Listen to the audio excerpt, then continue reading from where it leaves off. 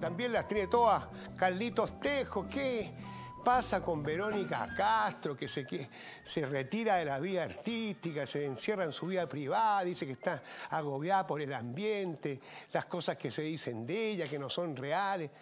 ¿Qué pasa con todo esto, Carlos? Hola. La verdad, mi estimado Alfredo, es que Verónica Castro lo está pasando muy, pero muy mal. Por estos días no quiere que se hable ni un ápice de su vida privada. Les cuento la historia.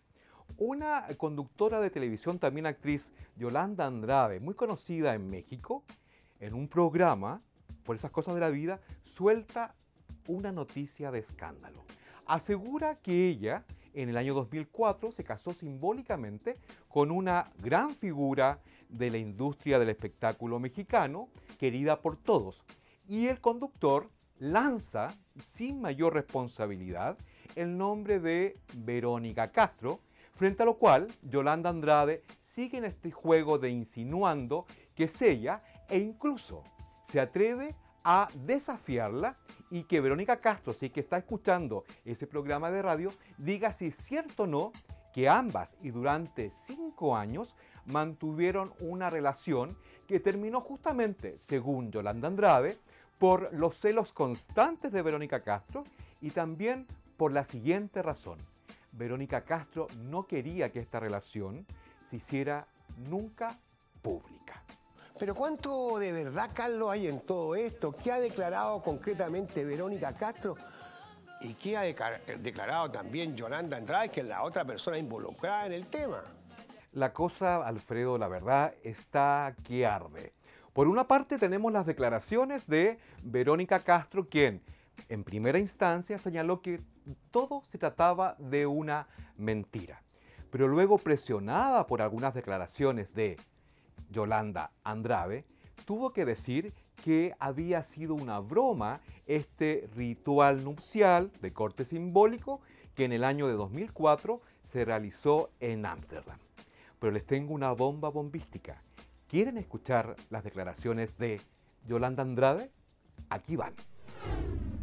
¿Fue simbólico, Yola? Fue simbólico. O sea, no, hay, no hay nada legal, no hay nada. No, no hay nada legal. No hay nada Y legal. si hubiera algo legal, vamos a. Fue en Ámsterdam. Fue en Ámsterdam, un momento divino. años, en la época hace- del gran hermano, digámoslo así. Pues este, más o menos. Más o menos por ahí. Ok, bueno. Sí, señor. Entonces te Dígame. casaste en Ámsterdam Sí. con Verónica Castro. De acuerdo. Ya es un hecho. O sea, ya. ¿Quedó claro? ya, se acabaron los rumores y era bloqueador, no sí, bronceador. a mí me gustaría que Verónica estuviera en la línea.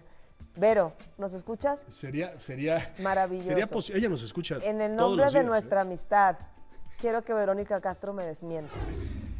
La verdad que Yolanda Andrade pareciera ser una mujer de armas tomar. Y la verdad es que está tan afectada Verónica Castro que ha decidido después de casi 54 años de exitosa trayectoria como protagonista de telenovelas, conductora de televisión, actriz de teatro y también cantante, ha decidido, señores y señores, poner punto final a sus apariciones públicas y una suerte de retiro de los escenarios. Es, sin lugar a dudas, la gran diva de las telenovelas latinoamericanas. Y a continuación, los invito a ver esta siguiente nota sobre su vida, sus obras y algunas cositas malas que también le han ocurrido en el último tiempo. Escándalo. Nada fáciles han sido los últimos días para la gran Verónica Castro, querida figura, un símbolo de la telenovela latinoamericana.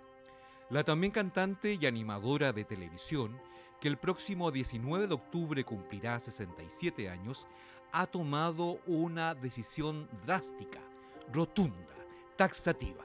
Ha anunciado su retiro profesional después de más de medio siglo de trayectoria. La razón es de peso. No quiere proseguir en la vorágine del escrutinio público y del escándalo desatado después de que una compatriota, la animadora y actriz Yolanda Andrade, revelara que ella y la actriz fueron, tras trabajar juntas en 2003 en Big Brother VIP 2, pareja, sí, pareja, durante cinco años y que incluso contrajeron nupcias simbólicas en 2004 en Ámsterdam, con el consentimiento de ambas familias. No soy lesbiana, aseguró, mientras que Yolanda Andrade, vestida de locuacidad, no escatimaba en los medios detalles sabrosos de la supuesta relación amorosa. La vida, dijo Verónica, ha cambiado mucho, pero no puedo con la agresión y el escarnio. Y digo adiós, continuó, a lo que tanto amé, mi profesión. Por 53 años entregué mi vida con todo mi amor. Gracias por todo, pero estoy agotada de tanto mal, insistió, y como lo vengo diciendo hace ya muchos años, quiero mi paz. Una paz que por estos días le es muy esquiva. Verónica Castro fue la estrella de las telenovelas en América Latina en los años 80 y también, en parte, en los 90.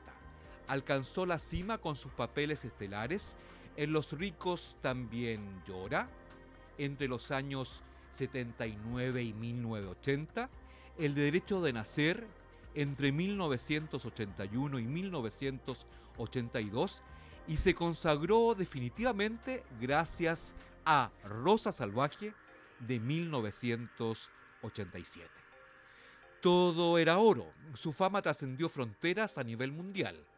El día de hoy, el nombre de Verónica Castro está escrito con letras de oro en la historia de la entretención continental e incluso mundial.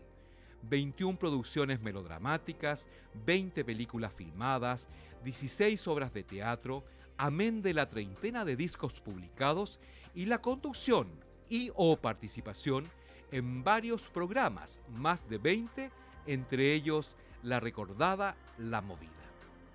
Con nostalgia, con aplausos, con reconocimientos y también, sí, y también con un escándalo sentimental que la ha obligado a anunciar su retiro. Bueno, nos veremos la próxima semana, Carlito, si Dios así lo permite, pero antes de irse, deme otra papita, otra cosita interesante del ambiente artístico. Espera un poco, Alfredo, espérame 30 segundos. Oye, otra cosa, fíjate que Yolanda Andrade también se ha atrevido a decir que ella tuvo un romance con Cristian Castro el año de 1992, ya que coincidieron en la grabación de una telenovela, y también con Verónica Castro. Hasta el momento, Verónica Castro no ha dicho nada solamente que lo está pasando mal, es una leyenda de la telenovela latinoamericana y ojalá que su ánimo mejore porque queremos Verónica Castro con su movida para un bastante rato más. Una excelente semana para cada uno de ustedes y muchas gracias por el respaldo de siempre.